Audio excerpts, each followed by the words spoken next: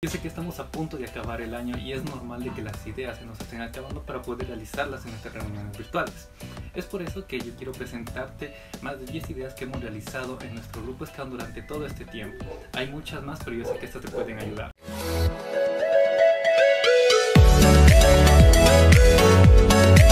Vamos a iniciar con esta, que es una dinámica rompehielos. Esta la podemos realizar tanto en nuestras reuniones virtuales como en una reunión presencial para las personas que ya están retomando sus actividades con todas las medidas de seguridad. ¿En qué consiste? Es una dinámica de presentación, pero no tienen que saber qué es como tal. ¿En qué consiste? Los chicos y chicas que participen van a tener que mencionar cuál es su animal favorito, que puede ser gatos, perros, lobos, dragones, leones, lo que sea y después de eso, de que todo el mundo lo haya dicho, tienen que mencionar qué parte del animal les gusta, que puede ser la cola, el pelaje, los colmillos, la cabeza. Y una vez que cada quien ya haya dicho la parte del animal que le gusta, vamos a presentarnos de la siguiente manera. Yo, por ejemplo, diría que soy Alexis Cabeza de León. Habrá otros que digan que se llamen Andrés Cola de Gato. Otros que digan María eh, Plumaje de Gallina una vez que los chicos vayan mencionando sus nombres, pues va a ser muy divertido, van a irse viendo ya que ellos no se lo esperaban. Y de esta manera vamos a hacer que los chicos, además de que conozcan su nombre, pues se vaya rompiendo esa tensión cuando trabajamos con un grupo nuevo. Otro juego en el cual también nos sirve para poder interactuar entre ellos es el llamado la regla de las preguntas, en las cuales yo hago una pregunta y la siguiente persona me tiene que dar una me tiene que darme tres respuestas. Yo por ejemplo le diré, mencioname tres juegos con donde se hizo una pelota, pues el otro chico tendrá que decirme fútbol, tenis, baloncesto. Esa misma persona tiene que decirle a la siguiente de su derecha o de su izquierda, por ejemplo, mencioname tres alimentos de la sierra, tres alimentos de la costa. Y así mismo otra persona dirá, dime tres personajes de tal película. Y en esa parte los chicos y chicas tienen que estar atentos para poder saber qué van a preguntar y la siguiente persona qué es lo que va a responder. Sé que existen diferentes plataformas que ya las hemos utilizado, que nos hemos cansado de hacerlas, como es Parchís. Parchís es un juego que nació justamente en esta pandemia y es de mucha utilidad, pero al ya jugarlo tantas veces podemos aplicar un torneo de Parchís. ¿En qué consiste?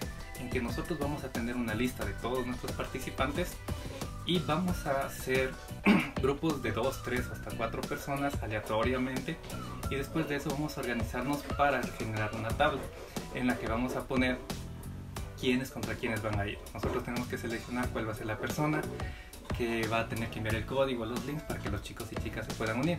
Después de eso van a haber subcategorías de las personas que van ganando, entre ellas se van a ir enfrentando, hasta que al final van a quedar dos finalistas o cuatro finalistas que permite la partida. Otro juego muy famoso que se, que se hizo popular en este tiempo de pandemia es el famosísimo Among Us que consiste en que existe un, impostor, o bueno, uno puede poner los impostores que quiera, pero muchos dirán ya estamos cansados de ser los impostores, de cumplir mis misiones, y llegó el punto de cansarnos de este juego. Pero nosotros podemos adaptarlo a un juego que todo el mundo ha jugado cuando ha sido niño, que es a las escondidas. ¿En qué consiste? En que supongamos tenemos 10 participantes y uno de ellos va a ser el impostor o la persona que va a tener que encontrar. Cuando todo el mundo ya esté en la partida y de inicio, el impostor va a tener que darles un tiempo que sea unos 10, unos 20 segundos para que todo el mundo vaya y se esconda. Otra de las reglas es que siempre tienen que estar apagadas las luces, nadie tiene que arreglar las luces y también tienen que seleccionar una área que va a ser eh, de protección para ustedes. Cuando ustedes se encuentren en esa área no les van a poder matar. Bueno, una vez que haya pasado ese tiempo, pues el impostor va a tener que ir a buscarles y el momento de que ya les encuentre, o sea, van a poder irse corriendo, van a tener que escaparse, pero las personas la persona que le esté persiguiendo tiene que ir gritando por dónde le va persiguiendo para que las demás personas estén atentas. Si es que logra llegar hasta el punto base, se salva. Si es que no, simplemente muere y ya no tiene que seguir hablando. ¿Y en qué consiste este juego? Es en que, bueno, principalmente tienen que estar ocultos y gana la persona que sobreviva hasta el final. Sé que no parece tanto como el propio juego, pero vale utilizarlo. En este caso ya no hay que ni siquiera ocupar las misiones, ya no hay que eh, reportar cuando alguien fallezca, simplemente es el esconderse y el tratar de huir del impostor. Otros dos juegos muy importantes que nosotros podemos aplicarlos con nuestro grupo de chicos, de chicas, es algo que fortalezca nuestra mente, ya que en estos tiempos se han reportado bastantes casos de gente con ansiedad, pues nosotros podemos trabajar con ese músculo que es el cerebro, que igual, al igual que cualquier otro músculo, tenemos que reforzar. Es por eso que eh, conjuntamente con el grupo Scout Pio 10, quienes son grandes amigos, hemos realizado una, una actividad en conjunto en el cual realizamos este juego de memoria que muchos conocen que es encontrar los pares. ¿En qué consiste? Yo simplemente pido a uno que me diga dos números, por ejemplo, el 9 y el 2. Si es que consigue el par, pues gana un punto, si no, simplemente lo volvemos a ocultar y pedimos otra persona. Supongamos el 1 y el 6, donde ya encontramos un par. Obviamente ya no lo vamos a tapar, pero las demás personas, mientras que van fallando, van a tener que irse memorizando en dónde están esos para ir ganando puntos para ya saber dónde está. Es por eso que aunque no les sea el turno, tienen que seguir teniendo en la mente. Es así como tenemos este juego. Pero yo les dejaré el link en la descripción para que ustedes puedan contactarse con las personas y buscar algo temático con lo que ustedes hagan. Recordemos que no siempre solamente tenemos que tener juegos preparados para eh, nuestras actividades de cada día, sino también cierto tipo de actividades que para los chicos sean recreacionales, que para ellos se diviertan, que sea un poquito más con reto.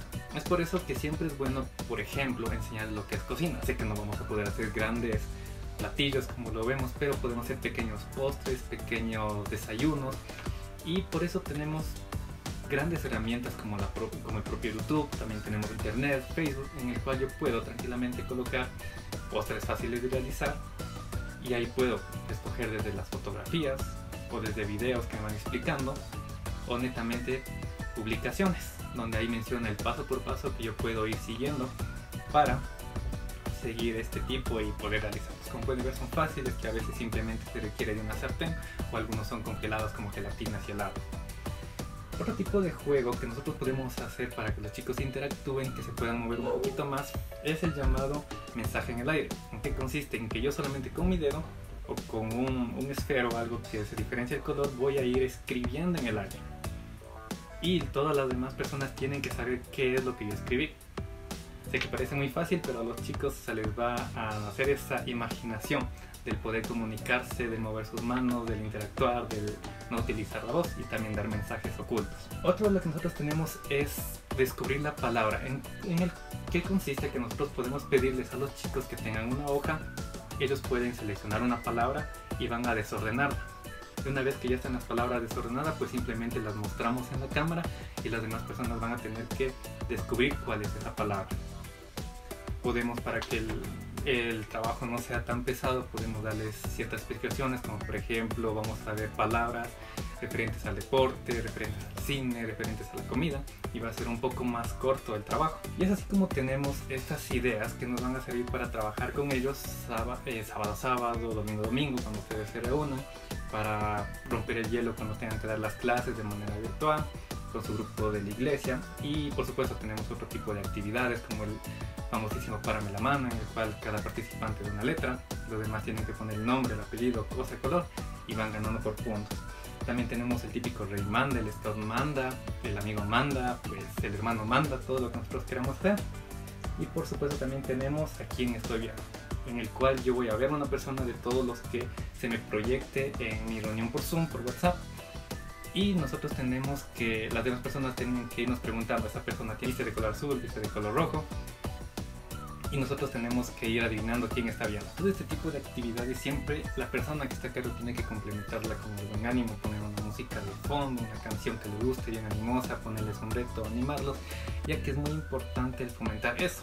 Ya de por sí tener una reunión de manera virtual es algo muy muy, muy, muy, donde todo el mundo tiene que hacer silencio, de preferencia tener apagados los micrófonos, pero en esta parte siempre es bueno que se escuchen las risas para animar. Así que si es que acaso te gustó una de estas ideas, pues te agradecería bastante que me ayudes compartiéndola, aplicándolas en tu grupo de, de, trabajo y principalmente suscribiéndote a nuestro canal, que vamos a subir más contenido referente a esto y a otras ideas como proyectos de robótica para niños, proyectos musicales, proyectos de comida que sé que te van a ayudar en tus actividades, sea que continúes de manera virtual o ya de manera presencial.